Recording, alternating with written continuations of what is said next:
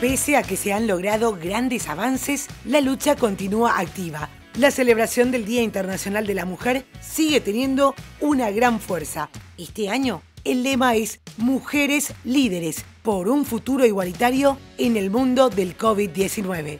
Hoy es lunes 8 de marzo y esto es el Franco Informador, tu mejor opción para estar al día con las noticias, de manera fresca, ágil y divertida, en menos de 10 minutos y sobre la marcha. Soy Soledad Franco. Allá vamos.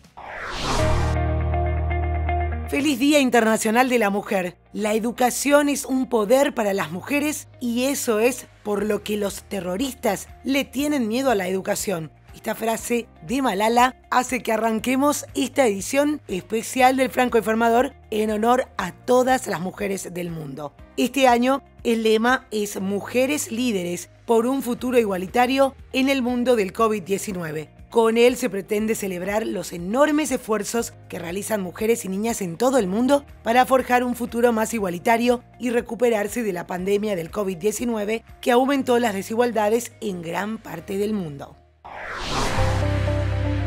Y hablando de mujeres, con 118 años, la persona viva más vieja del mundo se prepara para llevar la antorcha olímpica este mayo en Japón. Se trata de Kane Tanaka, quien sobrevivió dos veces al cáncer y vivió dos pandemias mundiales. Será quien tome la llama olímpica cuando pase por Shime, en la prefectura de Fukuoka, su hogar. Si bien la familia la empujará en una silla de ruedas durante la mayor parte de su recorrido de 100 metros, Tanaka está decidida a caminar los últimos pasos ya que va a pasar la antorcha al siguiente corredor.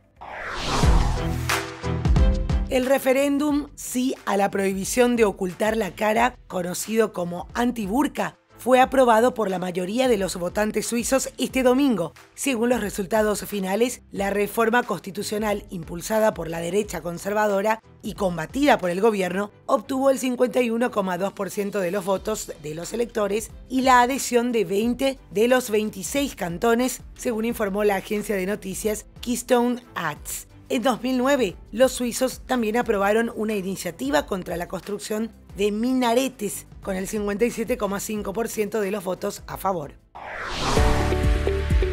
La vacuna está demostrando que realmente se puede ganar la guerra contra la pandemia y un claro ejemplo de ello son, por un lado, Israel, que lo hace reabriendo casi por completo todas las actividades, y Gran Bretaña, que se prepara para enviar a sus hijos a la escuela, una victoria lograda gracias a la rapidez de las campañas de inmunización. La vacuna contra el COVID-19 de proteína recombinante de China, recientemente autorizada en Uzbekistán, será otra arma poderosa en la lucha contra la pandemia global, según dijo Gao Fu, director del Centro Chino para el Control y la Prevención de Enfermedades. Gao, miembro del Comité Nacional de la Conferencia Consultiva Política del Pueblo Chino, dijo que la vacuna tiene un proceso de fabricación relativamente simple, altos niveles de producción y es fácil de almacenar y transportar debido a los requisitos de almacenamiento relativamente sencillos. Y antes de continuar, hago una pequeña pausa para invitarte a formar parte de mi canal de Telegram, Podcasteando con Sole Franco. Si ya pensaste en crear tu propio podcast, ahí comparto noticias y recursos gratuitos sobre podcasting. En las notas del episodio te dejo el link o podés buscarlo directo en Telegram, Podcasteando con Sole Franco. Ahora sí, continuamos con noticias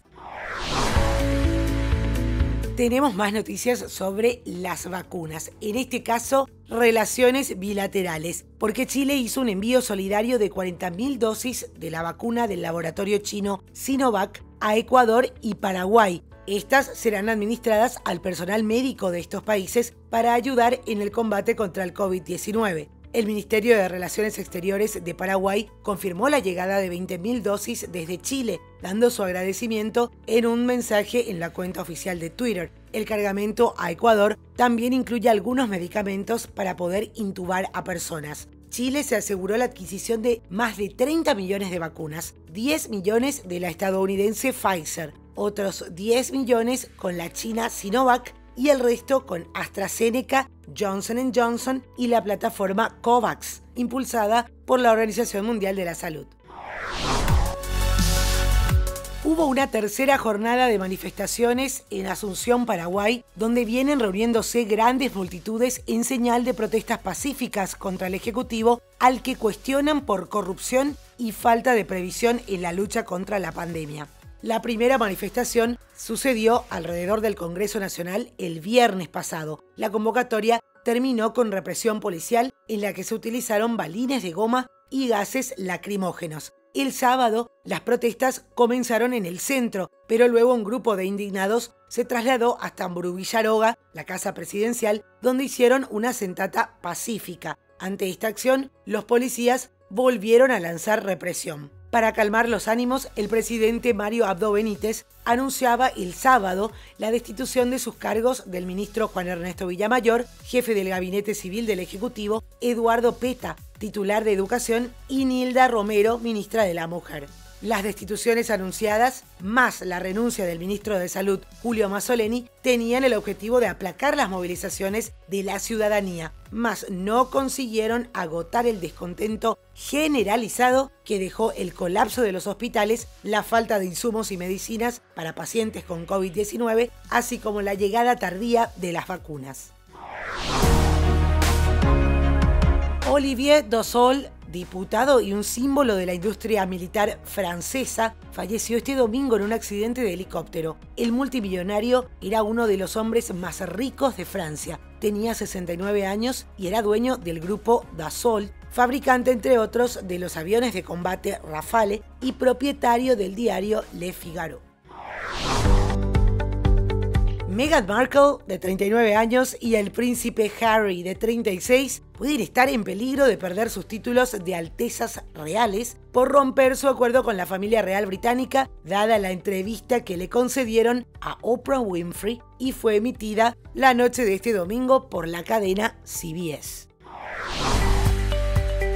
131 días después de la renuncia de Josep María Bartomeu al cargo, el Barcelona vuelve a tener un presidente y será nada menos que Joan Laporta. El abogado, empresario y político español de 58 años llega a su segundo mandato en estas elecciones después de haber estado a cargo del club entre 2003 y 2010 una época dorada para el primer equipo en la que consiguió 12 títulos, entre ellos el sextete, que lo transformó en el mejor de la historia al ganarlo todo. Y su gran mérito, llevar a Josep Guardiola al club y luego nombrarlo entrenador del primer equipo. Una tarjeta de Kobe Bryant se vendió por 1,8 millones de dólares el sábado por la noche en Golden Auctions, una casa de subastas en línea y depósito de memorabilia deportiva, lo que la convierte en una de las tarjetas de básquetbol más caras jamás vendidas. Los hombres vueltos locos y las mujeres. Y los exponentes más renombrados de la música urbana latina del momento, Wisin, Mike Towers y Los Legendarios, estrenaron una nueva versión de su sencillo Mi Niña, esta vez reclutando al colombiano Maluma y a la estrella brasileña Anita.